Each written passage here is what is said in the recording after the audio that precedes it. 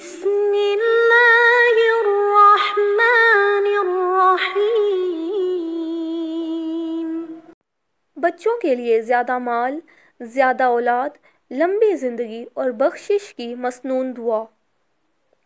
سیدنا انس رضی اللہ تعالیٰ عنہ بیان کرتے ہیں کہ نبی کریم صلی اللہ علیہ وآلہ وسلم ہمارے گھر والوں کے پاس آیا کرتے تھے۔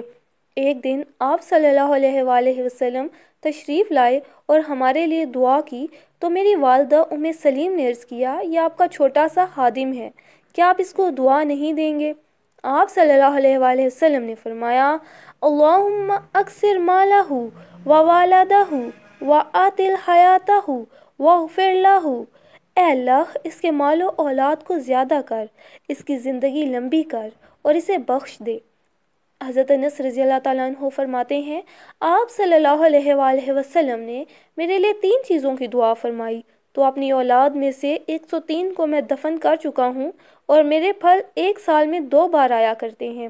اور میری عمر لمبی ہو گئی ہے، حتیٰ کہ میں لوگوں سے شرمانے لگا ہوں اور میں بخشش کی امید رکھتا ہوں۔